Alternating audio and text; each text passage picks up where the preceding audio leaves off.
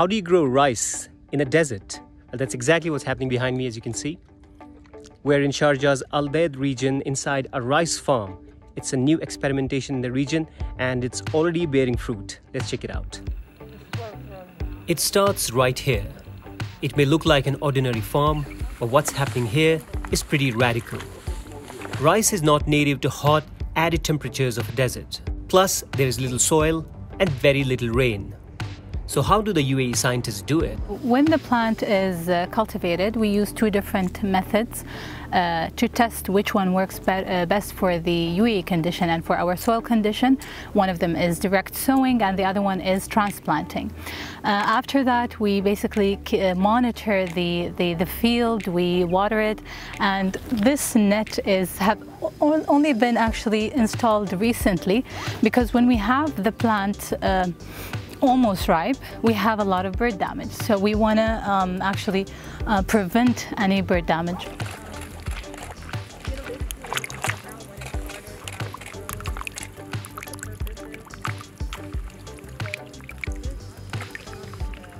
The first harvest of this farm took place in 2020, when 763 kilograms of rice were reaped from an area of 1,000 square meters.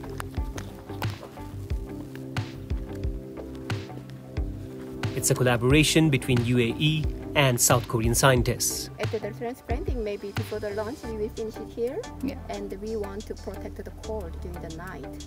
So Yes. we will cover something on the field. Yeah, Yeah. because of the five During degrees the night, we can protect the core. And also during the day, we can protect the strong from sun. heat. Yeah. Yeah. And this side, we're using uh, furrows or canals with flooding. And in this side, we're using the same canals with drip irrigation to test the difference between the two irrigation methods. And what has been the finding, uh, if I may ask? So uh, we can see that furrow is working for us, but uh, furrow with uh, uh, flooding works better, especially when it comes to the weeds.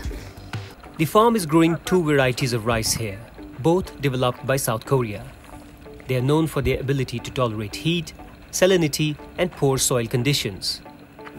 On the right side, this is the Asemi. So this is the successful variety that we had in the first stage. So last year, one of the many varieties that we've tested was Asemi, and we are cu- cultivating cultivating it here again uh, this year. And this is a really good variety for cultivation in the UAE because it's strong. It's, it's from what we have seen recently, it was able to tolerate the temperature uh, change that we had recently. The UAE is one of the top 10 global rice importers in the world. It relies on shipping and air freight for almost 90% of its food. And while the country avoided any disruption in its food imports during the COVID 19 pandemic, the novel experiment at this farm is one way the country plans to increase its local food production.